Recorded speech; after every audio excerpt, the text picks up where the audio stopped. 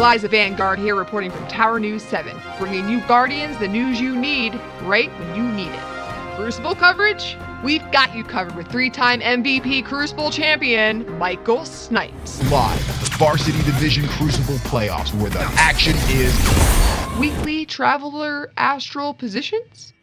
Our top physicist, Sheila Shinings, is always studying the light, as well as the shadows it creates. Looks like it's gonna be a bright day. Well, as bright as it can be, after Ghaul kind of messed up the Traveler. Oh, and you know, Cayde dying and all. Plus the Awoken's capital's under attack.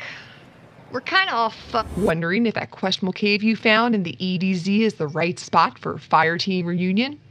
Our investigative guardian, Henry Wyatt, is always on the scene for the details. Henry Wyatt here investigating if the EDZ is in fact safe. There are patrols running day and night, but has it even been checked for basic safety needs?